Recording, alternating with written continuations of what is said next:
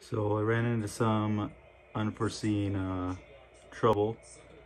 I will try contacting everybody and I'm gonna have to push this to Sunday. Uh, we'll do Sunday at 2 p.m. Eastern. I will message everybody I can. Sunday, 2 p.m. Eastern. I'm really sorry, guys.